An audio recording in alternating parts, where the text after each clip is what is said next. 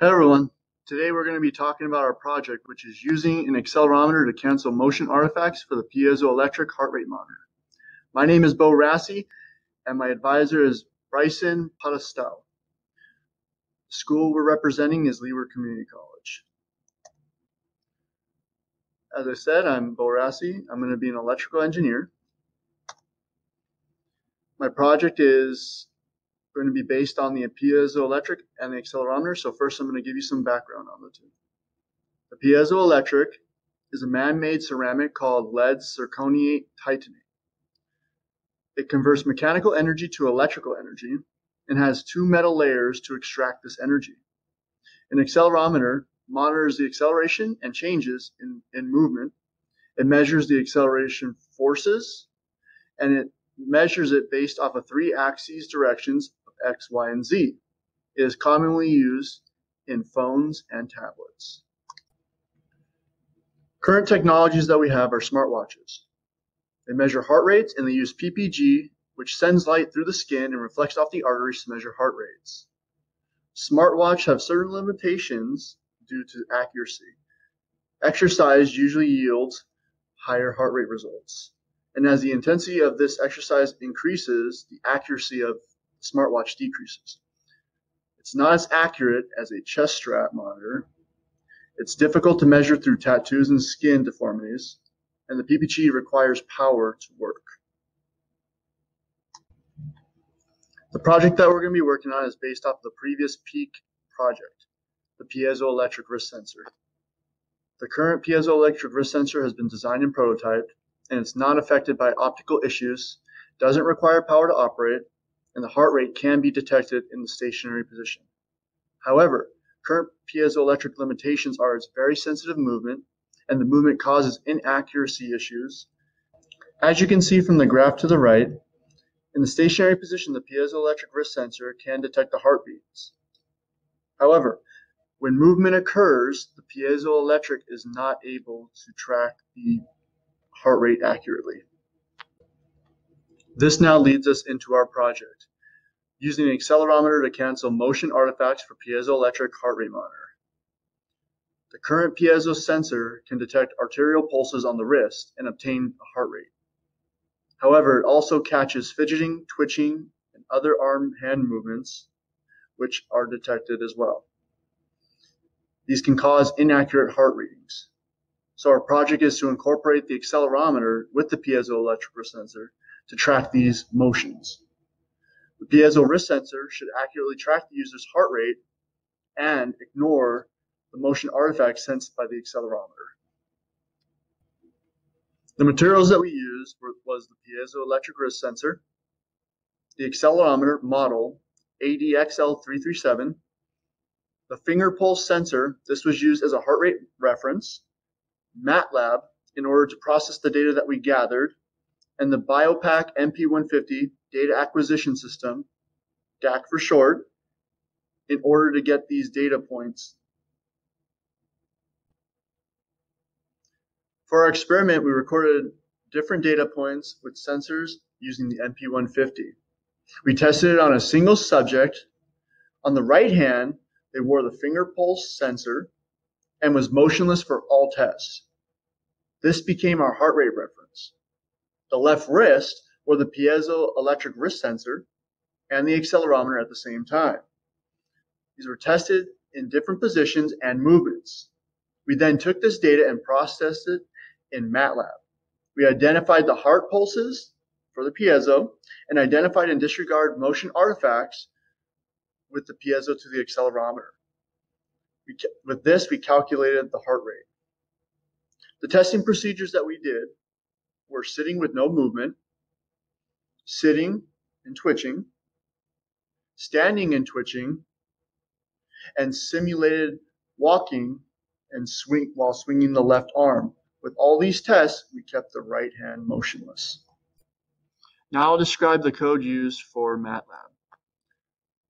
We took the data that we had gathered from the piezo and the accelerometer and input it into MATLAB. We programmed MATLAB to identify and count peaks with a minimum prominence and a minimum time separation. This will also give us a calculated reference heart rate. MATLAB then compared piezo and accelerometer peak times. If the peak times were close together, MATLAB would then take out that peak point as it would have been due to a motion artifact. MATLAB will then look at the peak that was deleted and see if the amplitude was much, much greater than the average piezo peak. If it was, the heartbeat will be added back in as this would have been a heartbeat and a motion artifact that occurred at the same time. MATLAB will then repeat these steps until all peaks have been visited. Once all peaks have been analyzed, MATLAB will then give us a revised peak total or a calculated piezo heart rate. As you can see from the data in front of you, this is for sitting and no movement. Graphically, all the charts will be similar. The top graph will be for the piezoelectric wrist sensor on the left wrist, the accelerometer on the left wrist, and the finger pulse reference on the right finger. As you can see, we were able to track all peak prominences and peak separations between them. The finger pulse reference heart rate was 57 beats per minute. The initial piezo sensor heart rate was 57 beats per minute, and the revised piezo sensor heart rate was 57 beats per minute. As you can see in this graph, sitting with twitching, the piezoelectric and the accelerometer, we were able to capture the peaks on both graphs.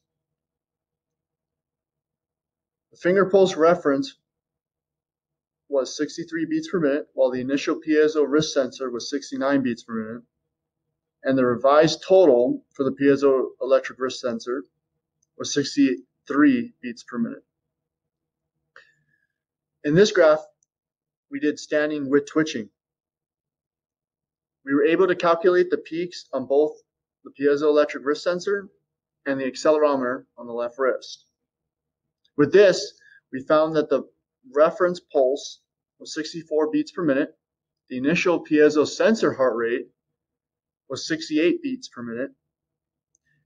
And after being revised, the piezoelectric wrist sensor heart rate was 64 beats per minute. For the simulated walking graph, we left the right arm motionless while we swing the left arm.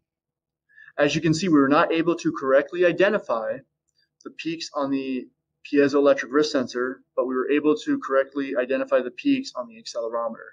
According to the finger pulse reference, the heart rate 60 beats per minute.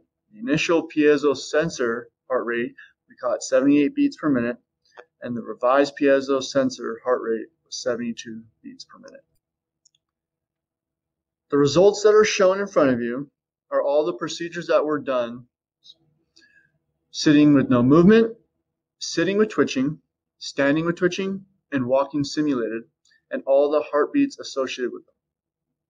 We were able to accurately calculate the heart rates while sitting and standing with twitching. However, we had inaccurate data with the heart rate calculated with simulated walking. We couldn't identify the peaks due to the piezo peaks from the arm swings and the heart rates having similar amplitudes to one another.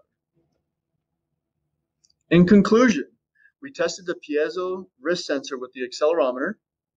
We were able to take the accelerometer and identify motion artifacts. We were able to take heartbeats and distinguish them from the motion artifacts from the piezo wrist sensor. We were able to calculate an accurate heart rate during sitting and standing with twitching. However, we had inaccurate heart rate calculated with the simulated walking due to the swings and the heartbeats having similar amplitudes. For future work, additional signal processing will be needed to distinguish heart pulses Filtering could be used to remove rhythmic motion, additional testing with physical activity, and being able to program a microcontroller for portable testing.